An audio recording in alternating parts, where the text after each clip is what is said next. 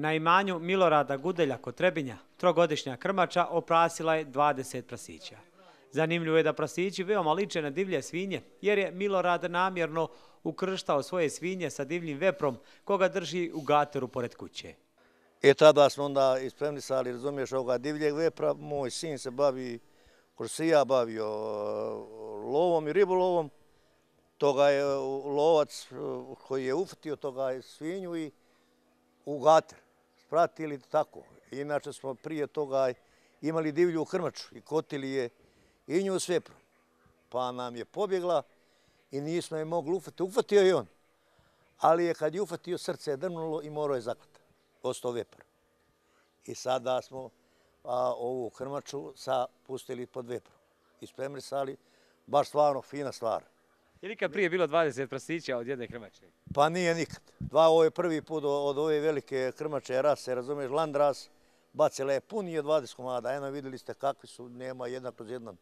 Napreduju svi. Krmača nije mogla da hrani sve prasiće, pa su slabi bili istisnuti i naknadno premješteni u poseban boks i hrane se mlijekom. Većina će kad dovoljno poraste biti prodata drugim farmerima u Trebinju. Nijesu imali sve sise. I onda smo morali odvojiti, odvojiti da bi oni uh, hranili se mlijekom drugim, a ovi ostavili da koliko ima sisa krmača. I oni sad sisaju, a ovamo četvore smo ostavili vamo, mi ih hranimo lično. Sad oni je svi da piju isto oko normalna krma, razumijete? Ja. Hoćete li sve toviti do, do novembra? Pa ne znam, skupa je hrana, mi smo ovde pasivni krajevi, vidite, to je sami krš, ništa nemamo što nećemo kupiti. A sve skupo pa na divlju svinju povuku, a i pitomu. Nema, to je prva klasa mesa. Što može biti mesa, to je meso. To je meso. Jer smo ranili onaj, e, lanjske godine smo prvi put to imali i ranili smo dvoje za nas lično. Po jedno 70 kila mesa je bilo u njih, jer smo ranili, e, ranimo za, za pastom ove pitomije. A ove godine obavezno. To je meso ekstra. Kao ista je pitoma i ovo. Kakvi bolan, to je ljepše devet puta, slađe mes, ukusnije, bez kaj masnoće skoro. Osim svinjogojstvom, porodica Gudelj bavi se uzgajanjem krava, koza, ovaca, te zemljoradnjom i pčelarstvom. Iako ima dosta posla, pčelarstvo je najunosniji posao, ako nema velikih suša i ako je godina povoljna za pčelare.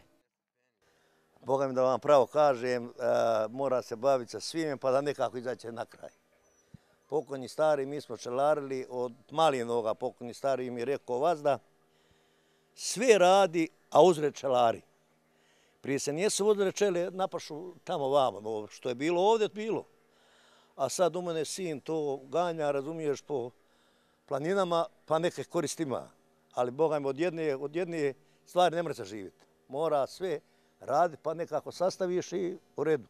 Imanje porodice Gudelj nalazi se neposredno uz Goričko jezero, a stanovnici ovog područja smatraju da bi uslovi za poljoprivredu bili daleko povoljniji ako tokom ljeta ne bi bilo velikih oscilacija u nivou jezerske vode i naglih ispuštanja vode prema platu.